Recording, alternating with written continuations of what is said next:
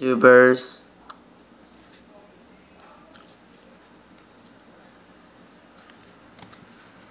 Tobacco tip number two video. As I was explaining in the last video that you don't need to pay a lot of money for a nice quality pipe. Usually that you get the cheap ones, they have cock in them, I said that and you have to sand them to actually get to that place again. You could get a really expensive one, which can be a hundred and two hundred dollars.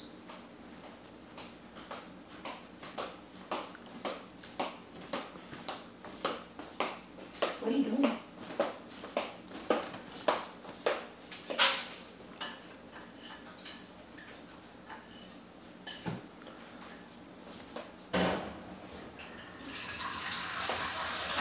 Cheapest pipes can go for five or six dollars.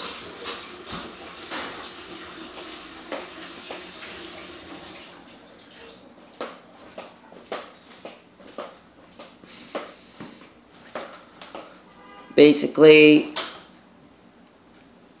when one of my grandfathers smoked a pipe, it was on a budget.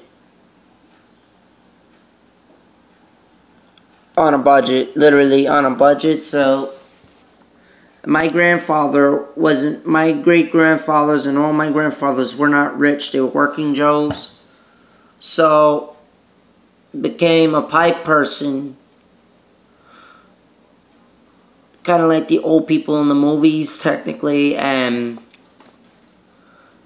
they smoke a pipe in their slippers in a chair.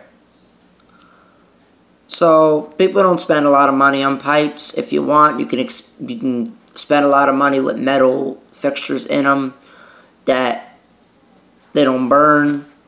They last for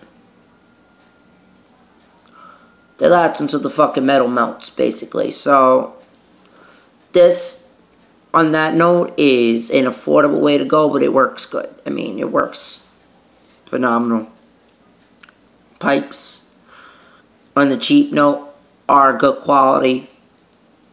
They last a long time.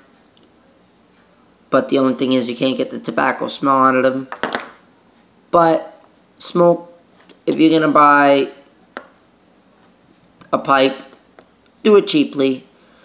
You can still be a hobbyist and enjoy a pipe and not freaking be expensive about it. And you can make your own pipes too if you know how. Just by fiddling with some wood or something like that. You can make your own pipes. But that's it. Thank you for watching. Hobby hobbies, pipe hobbies are not all about money. So, thank you for watching. This is video 2. Bye-bye.